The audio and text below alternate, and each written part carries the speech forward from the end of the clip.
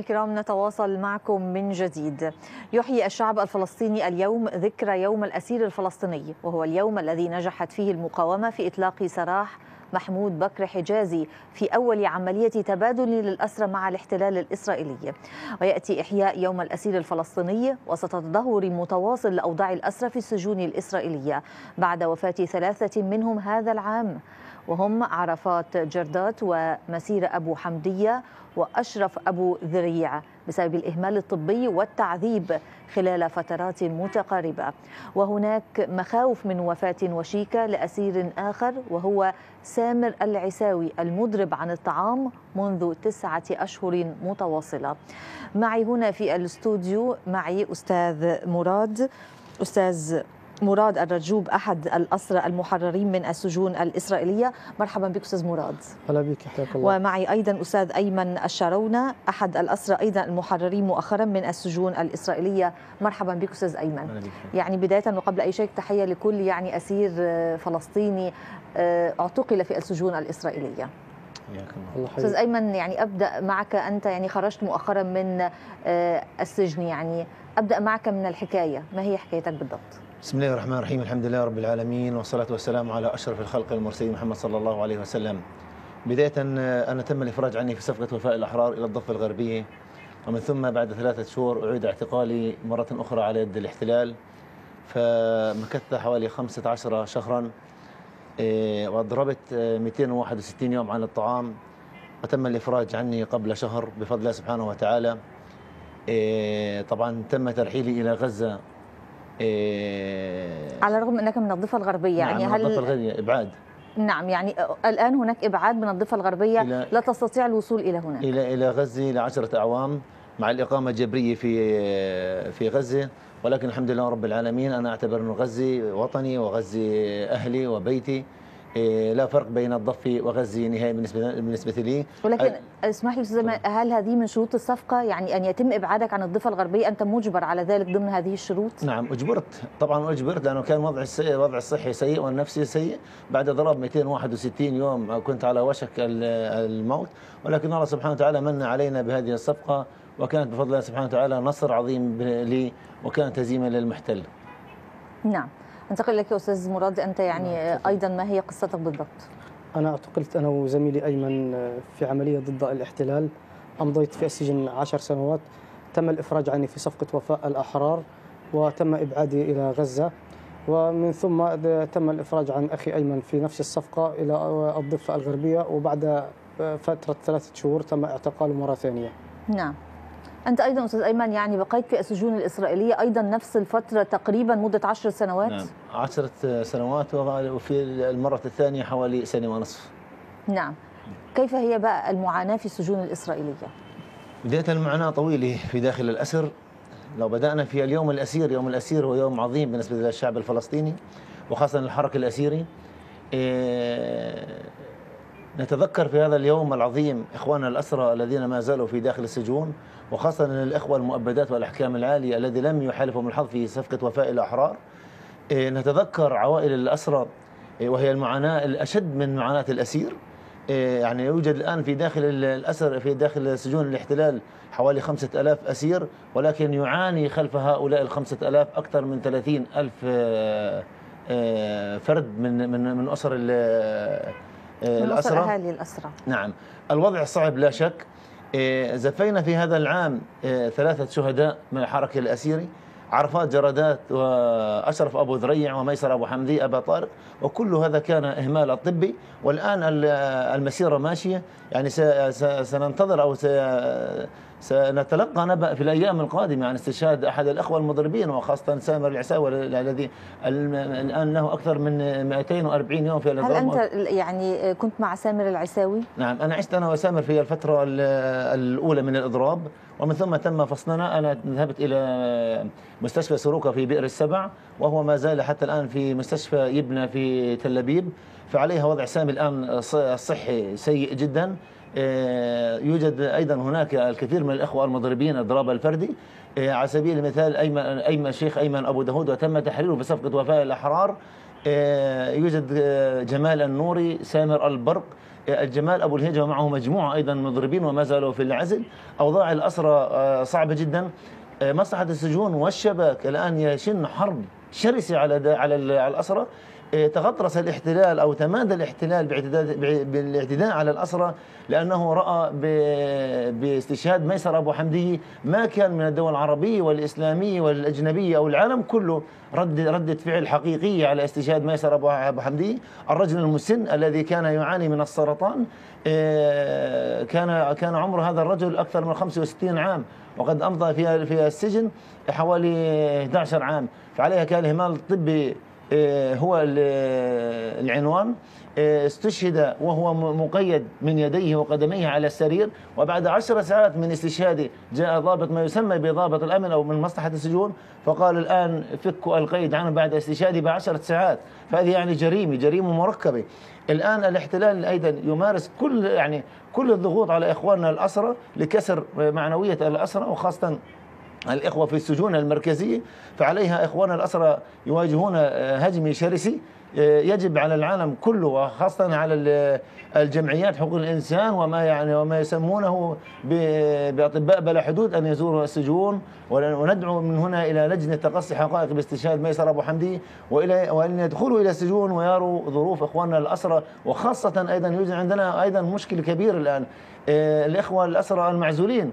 الآن يوجد لنا أخين معزولين أو أو مجموعة من الإخوة لكن أقدمهم الدكتور دكتور آه، درار أبو سيسي. آه، الآن دكتور درار أبو سيسي فقد الوعي أكثر من عشرة مرات في في العزل الانفرادي. يعني لا لا لا يكلم أحد لا يرى أحد لا لا يزوره المحامي لا يزوره الصليب. يعني مغيب عن العالم الخارجي نهائيا. فقد وعيه أكثر من عشرة مرات.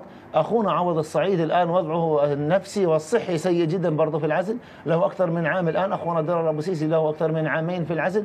خواتنا الأسيرات وهي المعاناة الأكبر بالنسبة لنا الآن الأسيرات آه، يوجد أكثر من 25 أسيرة فلسطينية في داخل السجون. آه، منهم من هي بنت ومنهم من متزوجة ويوجد أبناء خلفها في في البيت.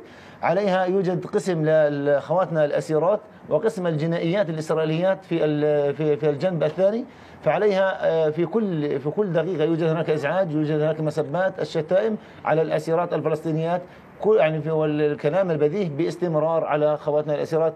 وأيضا عندنا مشكلة أيضا هناك في داخل السجون هي مشكلة الأشبال الذين يعتقلهم آه، الاحتلال يعني من 10 10 اعوام و 12 عام فهذه كارثة يمارس عليهم كل الضغوط النفسية والجسدية. يرعبونهم يعترفون بأشياء لم يفعلوها على الإطلاق من الخوف.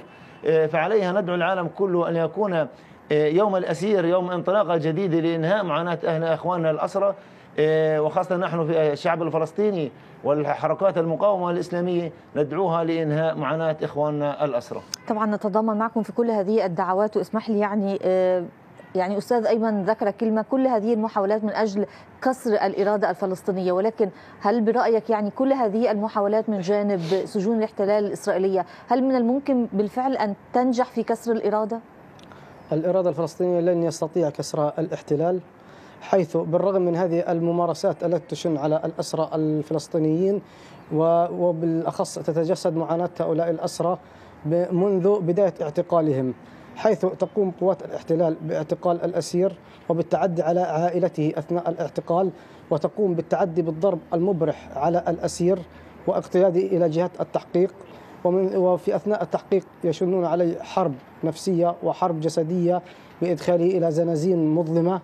آه الإضاءة فيها قليلة جدا وتكون آه، وتكون فيها الرطوبة نسبة الرطوبة عالية بحيث أن هذه الرطوبة تتغلغل إلى عظام وأجساد الأسرى وهناك عدد كبير من الأسرى في داخل السجون يعانون من من آلام في العظام وفي المفاصل وهناك إهمال طبي آه، كبير ومتعمد من قبل قوات الاحتلال ضد أسرانا البواسل. كل هذه الممارسات التي تشنها قوات الاحتلال على أسرانا لن تنال من عزيمتهم ولن تضعف إرادتهم بل بالعكس تزيدهم قوة وصلابة في وجه هذا المحتل. نعم. أستاذ أيمن يعني ما هي آخر معلوماتك فيما يخص الصفقات التي من المفترض يعني أن يتم عقدها مع الجانب الإسرائيلي للإفراج عن المزيد من الأسرى خاصة أن الأعداد يعني آه، ربما في تزايد ربما تصل إلى خمسة ألاف أسير فلسطيني حتى الآن؟ يعني الصفقات يعني مع السلطة الفلسطينية أم مع المقاومة؟ أنت كيفما تشاء. يعني نعم. إذا كان لديك يعني أي معلومات عن الصفقات الجديدة التي من الممكن أن تكون يعني مبرمة الآن مع الجانب الإسرائيلي ل يعني الإفراج عن عدد آخر من الفلسطينيين؟ نعم الآن على صعيد الوضع السياسي لا يوجد أي أي اتفاق أو لا يوجد أي صفقات نهائيا. تتحدث السلطة الفلسطينية بأن هناك سيكون لقاء رباعي أمريكي أردني إسرائيلي فلسطيني في الأردن. وسيكون في هذا اللقاء أو سيطلق سراح دفعات من الأسرى نتنياهو هل, هل أنتم تعولون يعني عن هذا اللقاء؟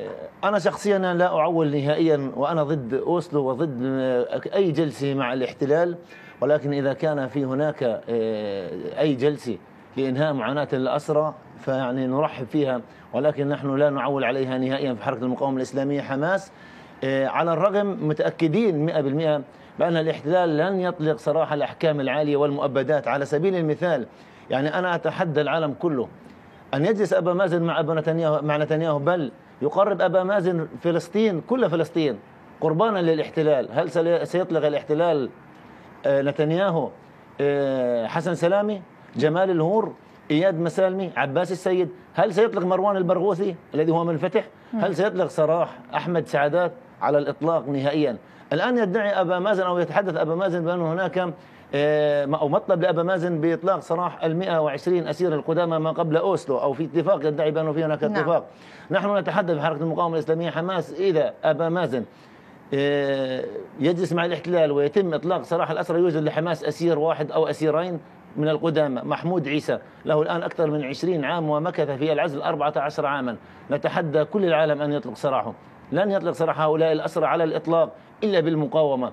وطريق المقاومة وضع, وضع يعني الآن واضحة أمام العالم تم بفضل الله سبحانه وتعالى إبرام صفقة مشرفة وهي صفقة وفاء الأحرار التي حرر فيها أكثر من 1050 أسير وأسيرة وكانت بفضل الله سبحانه وتعالى نصرا عظيما كانت على أرض فلسطين السابقة هي السابقة الأولى.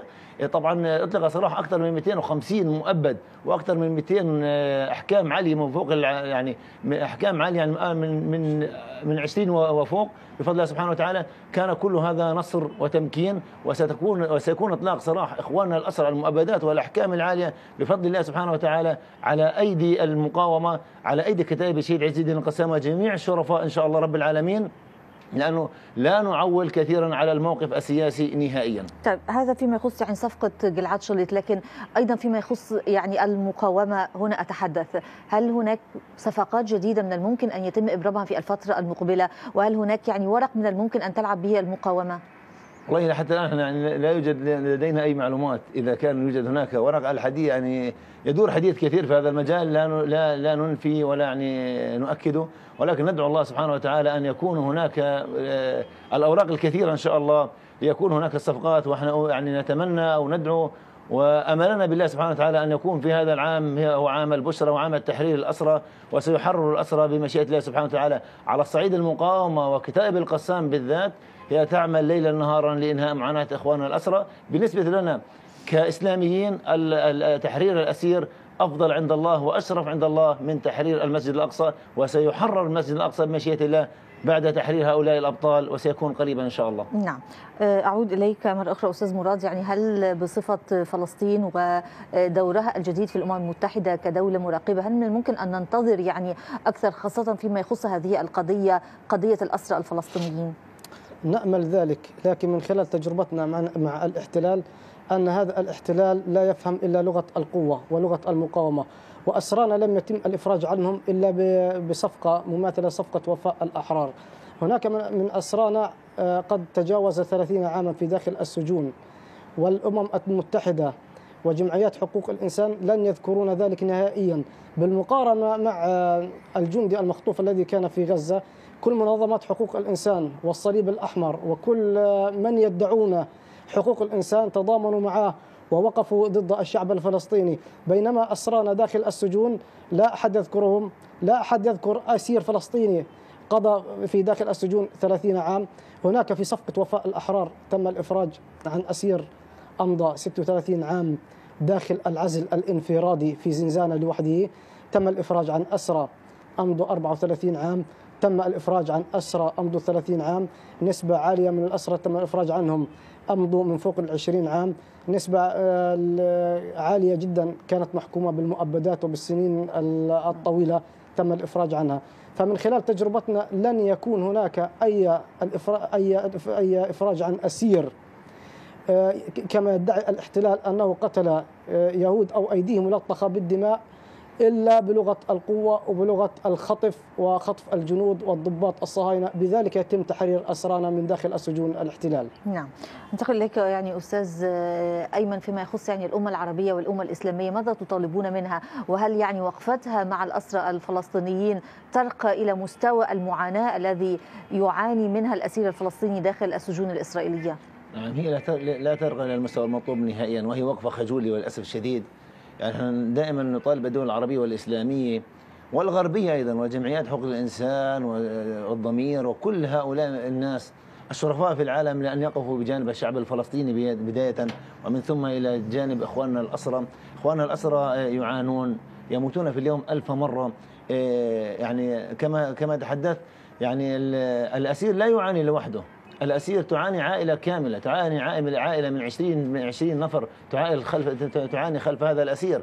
معاناة الأهل على الزيارات أيضا ربما يعني تجاوزنا هذه النقطة ولم نتحدث فيها. هي أشد من معاناة الأسير أشد من معاناة الأسير المعزول. تأتي الوالدة أو الأخت أو الزوجة إلى الزيارة أو البنت تفتش على على على محاسيم أو على المواقع العسكرية الإسرائيلية تفتيش بالعاري. تهان الزوجة تهان الأم تهان الأخت. وربما تكون الوالدة أكثر من 50 و60 عام. يفتشونها آه، تفتيش عاري الإهانات آه، الانتظار داخل الزيارة. وكل زيارة يعني أقل من من من 40 45 دقيقة وعلى زجاج. يعني لا يستطيع أي إنسان أن يلمس يد يد ابنه أو زوجته أو أمه أو أخته على على الإطلاق نهائيا.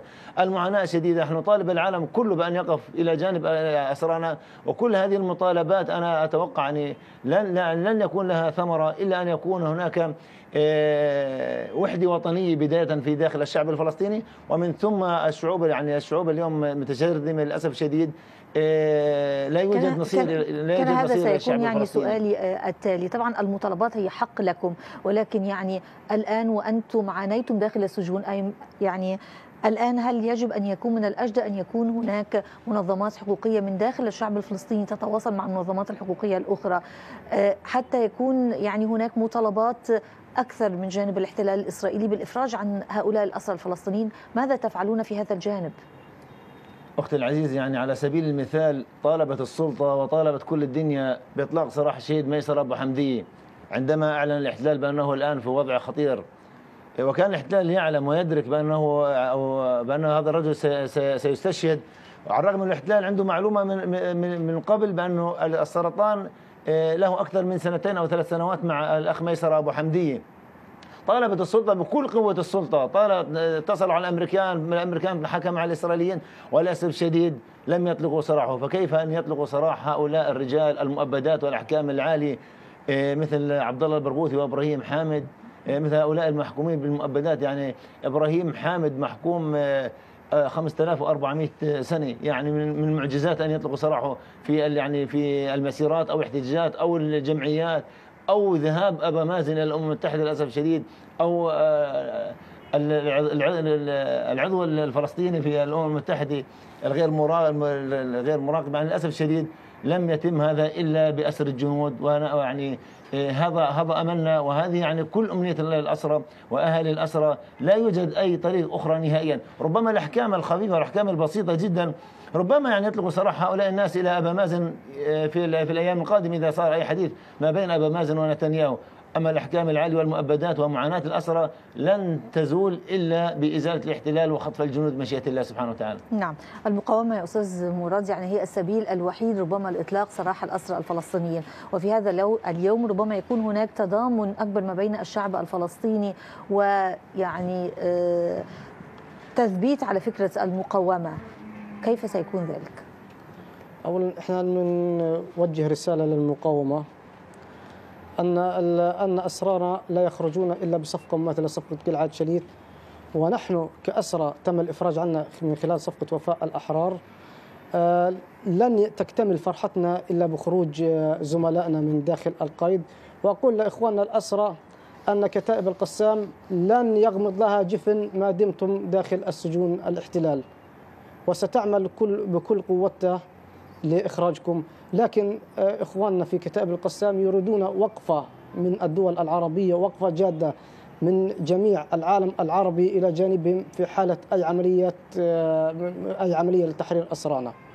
نعم. أستاذ ايمن يعني إذا كنت تريد توجيه رسالة إلى السلطة الفلسطينية أيضا إلى المقاومة هي الرسالة التي تريد أن توجهها؟ يعني بداية أنا رسالتي إلى السلطة الفلسطينية إذا لم تستطيعوا إطلاق سراح أسرانا أو أسرى أسرى الشعب الفلسطيني فعليكم يعني أن ترفعوا أيديكم وتكفوا عن ملاحقة المقاومة هناك في الضفة. والإسرائيليين يدركون ويعلمون بأن المقاومة آه، ما زالت موجودة في الضفة. آه، ولكن للأسف الشديد حراس آه، الاحتلال وهم الأجهزة الأمنية هناك هي التي تمنع العمل العسكري وبالذات خطف الجنود. عليها من هنا نوجه رسالة لإخواننا في المقاومة. وخاصة في كتاب الشهيد عز الدين القسام عليكم إخواني بإنهاء معاناة إخوانكم الأسرى وقد أخذنا منكم البيعة وأخذنا منكم قسم بأن تنتهي بمشيئة الله في القريب العاجل معاناة إخواننا الأسرى لأنه الأسير لا يعاني وحده الأسير يعاني وهو وعائلته وخاصة الأسرى المرضى الأخوة الأسرى الذين مصابون بالسرطان يوجد 25 أسير مصاب بالسرطان الأخوة المعزولين الأخوة المضربين أخواتنا الأسيرات الأشبال ندعو الله سبحانه وتعالى وندعو أخواننا في المقاومة أن يكون أن يكون هذا العام هو عام التحرير على على على غرار صفقة وفاء الأحرار وستكون صفقة وفاء الأحرار رقم اثنين قريبا إن شاء الله رب العالمين. إن شاء الله. أستاذ مراد يعني آه، أيضا يعني يعني ما هي الدعوة التي توجهها للجامعة العربية والأمة العربية والإسلامية فيما يخص يعني هذا الموضوع والدعوات لإطلاق سراح الأسرى الفلسطينيين؟ الدعوة وجهها إلى الجامعة العربية وإلى جميع الدول العربية بالوقوف إلى جانب أسرانا البواسل في داخل السجون الإسرائيلية. موقف جاد لا موقف منحاز تجاه مواقف الاحتلال كما رأينا في صفقة كما رأينا في أثناء خطف الجندي قلعاد شليت.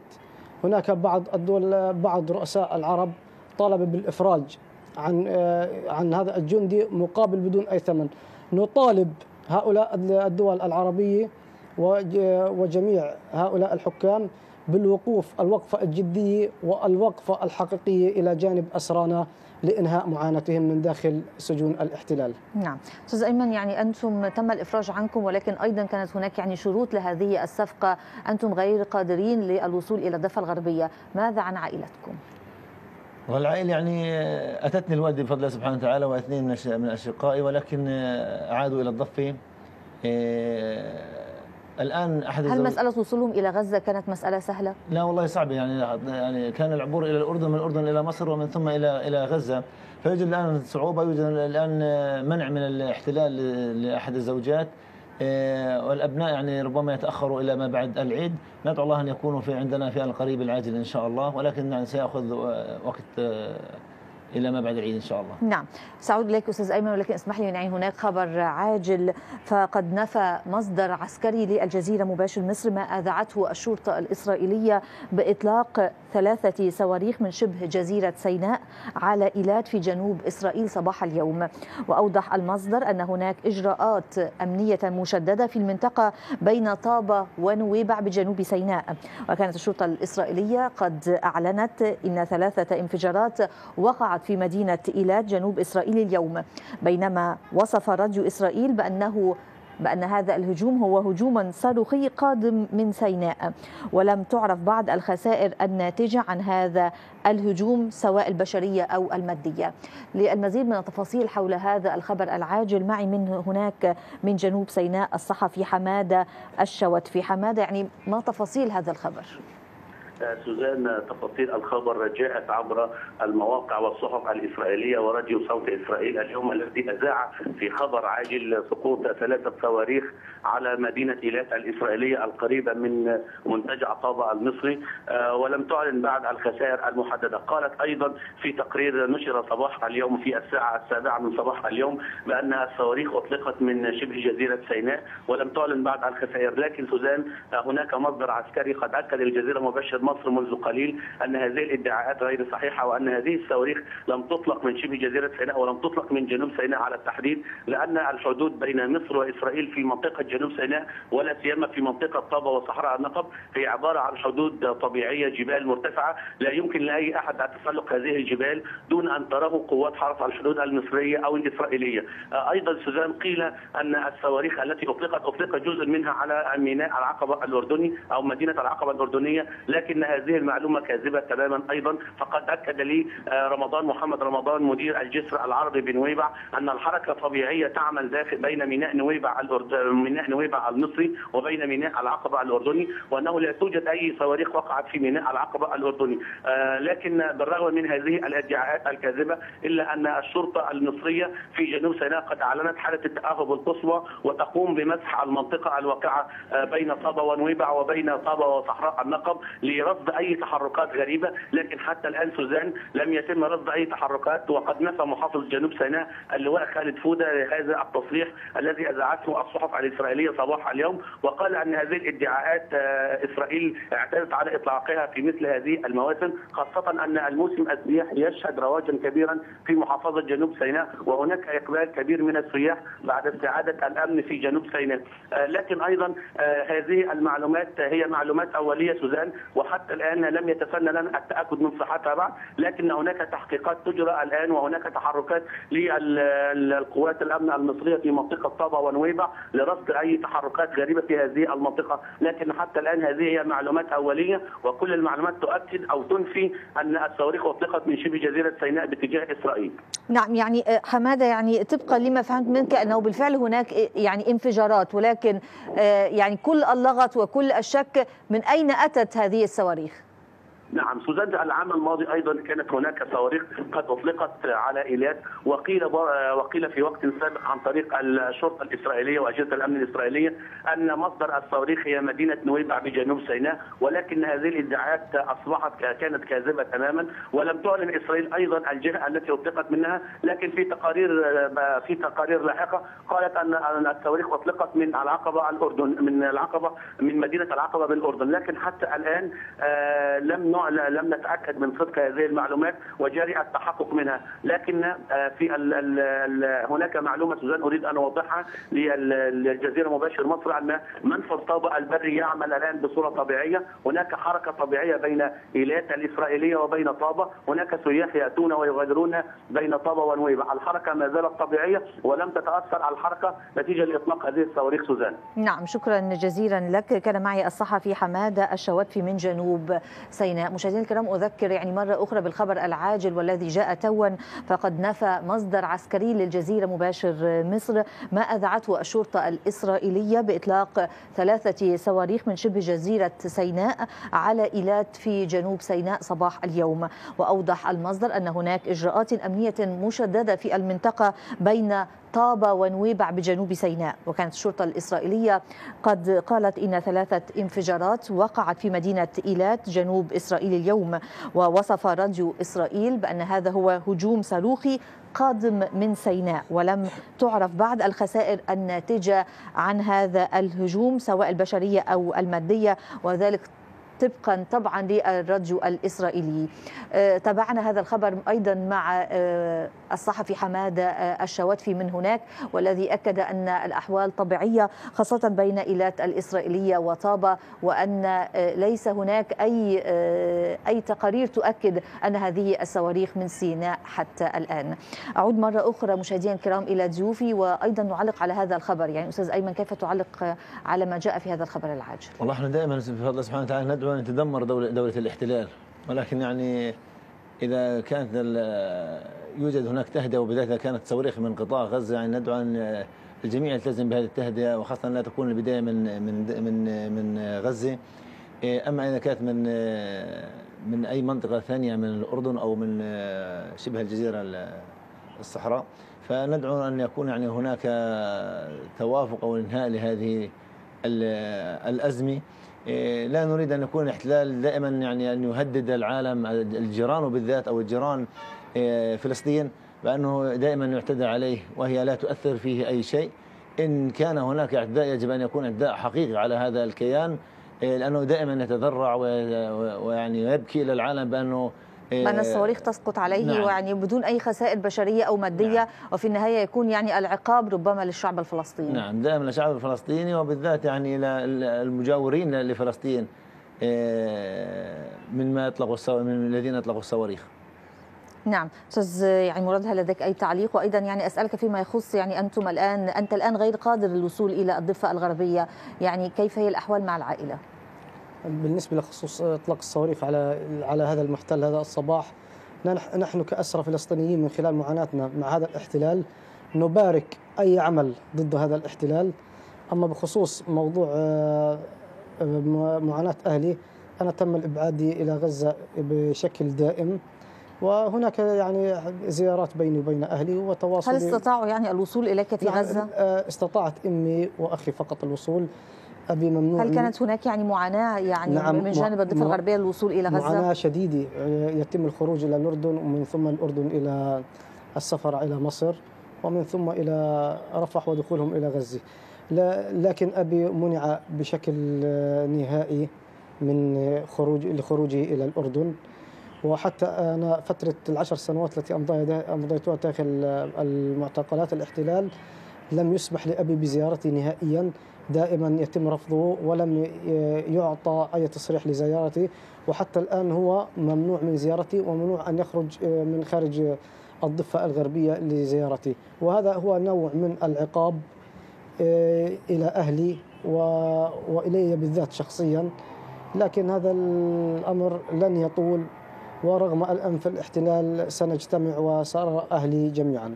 ولن يكسر الإرادة الفلسطينية إن نعم، شاء. الله يعني الحمد لله على. سلامتكم من. الخروج يعني من الخروج من السجون الإسرائيلية نتمنى لكل الاسرى الفلسطينيين أن يخرجوا ويتمنى أن يكون هناك تضامن أقوى من كل الدول العربية والإسلامية والمجتمع الدولي مع الاسرى الفلسطينيين أشكركم شكرا جزيلا. في نهاية هذا اللقاء كان معي أستاذ مراد الرجوب أحد الأسرى المحررين من السجون الإسرائيلية وأيضا أستاذ أيمن الشرونة أيضا أحد الأسرى المحررين مؤخرا من السجون وكنت أحد المضربين عن الطعام لأيام طويلة جدا.